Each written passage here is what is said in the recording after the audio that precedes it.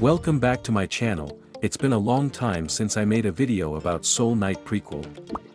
Today, there's a new mode, so I'm doing a brief guide for you. I hope you enjoy this video. There may be many of you who still don't know that here you will get a red necklace. It has a skill similar to this boss's skill. Boss 1 will have a shield forever, making it very difficult to kill. You need to block this boss's energy recharge path in order to defeat it.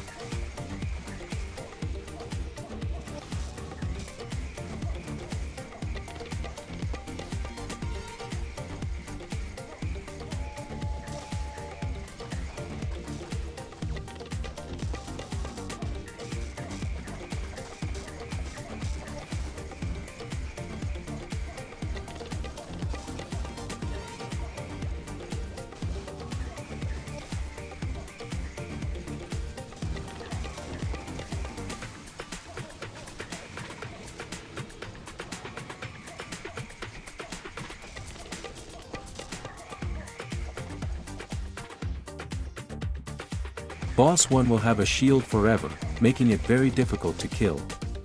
You need to block this boss's energy recharge path in order to defeat it. Stand in such a way that when the wind pushes you, you are blocked by the middle barrier, which increases your chances of survival. Additionally, try to dodge the bullets to minimize damage.